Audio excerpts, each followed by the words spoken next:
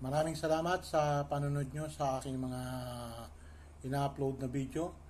At muli ay tutuloy natin yung ating ah, topic tungkol sa ah, electrical installa- ah, electrical installation para sa is- in-slabbing.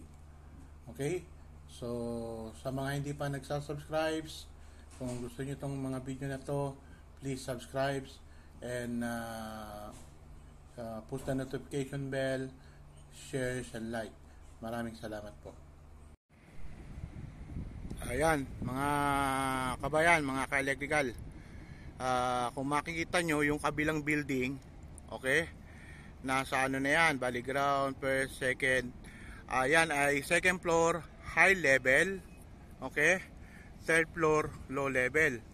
Kung makikita nyo, ayan, tapos na yung first layer. Okay? So, ibig sabihin yan, dapat yung mga electrical points natin, nandiyan dyan na din. Ayan, kung makikita nyo, ayan na oh, yung mga box natin oh. Nakakabit na oh, ayan. So, pagtapos nyan, nakakabit na lahat ng box natin, ah, dapat yan, meron na tayong tao na nagtutubo. Okay? Naglalagay ng tubo. Ayan. Oh. Ayan na yung mga boxes natin, nakakabit na. Okay?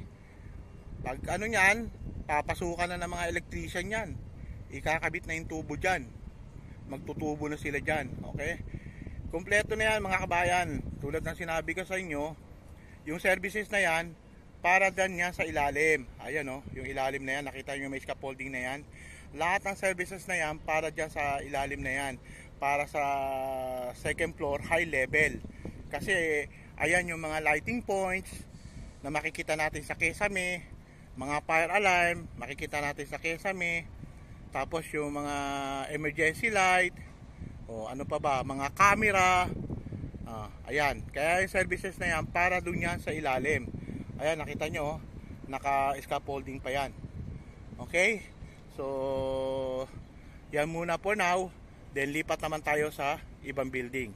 Which is, ipakikita ko sa inyo yung itsura ng shuttering na yan sa baba. Okay? Para magkaroon kayo ng complete idea. Okay? Okay. Nandito na tayo sa ilalim. Kanina nasa ibabaw tayo, 'di ba? Yung diniscuss ko sa inyo. Ito na yung itsura ng ilalim. Ayan, oh. Ah, yung shuttering niya. Tapos may mga support siya na scaffoldings. Okay? Tibay niya, no? Kasi bakal talaga yung ginamit nila. Tapos yung brace nila, aluminum yan. Ayan, oh. oh. Yung ibang area, ginamit nila normal plywood. Pero rito, special plywood yung ginamit nila. Yan yung sinasabi kong hindi mo pwede butasan. Okay? Oh. Ayan. Ito yung nagiging finish ng ah, column o nung poste. Ayan. Inubad na yung shuttering yan. Ngayon, pagtapos ng buhos niya sa ibabaw, meron niyang tinatawag na ah, curing period. Yung o araw, kung ilang araw pinatutuyo yung ano, yung semento. Ngayon, pag na-reach na yung araw na yon, let's say halimbawa 15 days, or uh, kung ilang araw ba yung nakatalaga doon sa expects ng ano, ng, ng civil, doon pa lang nila ngayon tatanggalin yung shuttering. Okay? Pagtanggal nila ng shuttering na yan, hindi totally tinatanggal lahat ng ano, nung brace. Nagiiwan pa rin sila ng brace. Okay? Ayan. Oh. Ayan na yung ah, ayun yung isang yung isang stage natin, pinakita ko sa inyo kanina.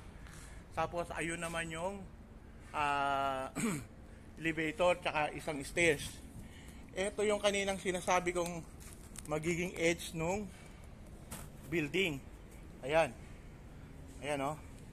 Ayan ang edge ng building. Which is yan madalas ang ginagamit nating reference point. Ah, sa drawing yan lagi ang nagiging uh, basihan natin. Kasi yan yung, kaya yan lagi nagiging basihan natin. Kasi yan, established point na yan. Pati yung column. Okay? Yung mga poste natin, ayan o. Oh, ayan. Ito, established point na yan. Hindi na magbabago yan. Diyan na yan talaga.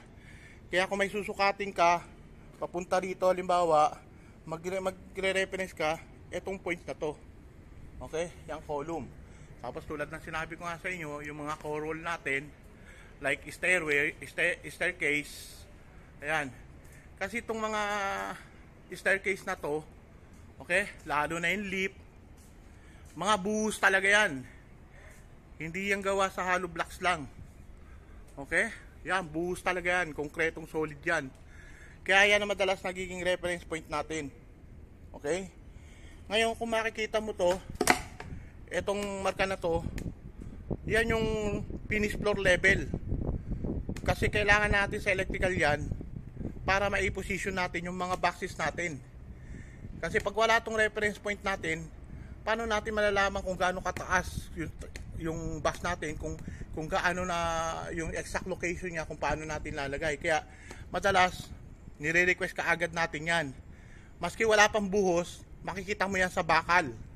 Nilalagyan nila ng marka yan. Nire-request yan sa mga surveyor. Okay? Kasi yung civil, meron yung tinatawag na surveyor. Tapos, eto, itong mga gantong opening, yung mga shop opening na yan, yan. Kaya ingatan nyo yan sa site. Huwag kayo lakad ng lakad sa site.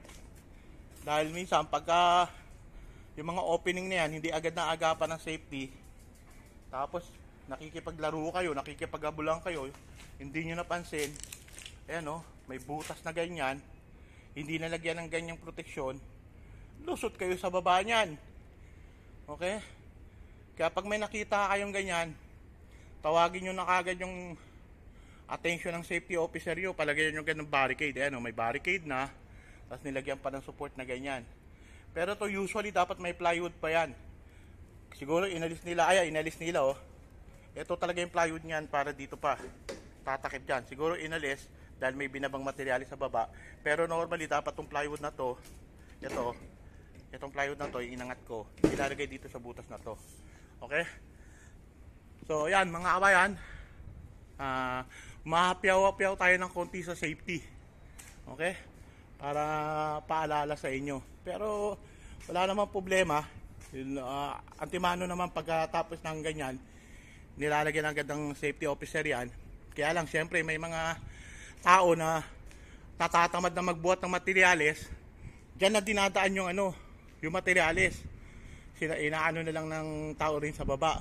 Ngayon, pag naibaba na nila yung materialis nila o naipanik na nila yung materialis nila, kinakalimutan ng ibalik yung ano, yung takip.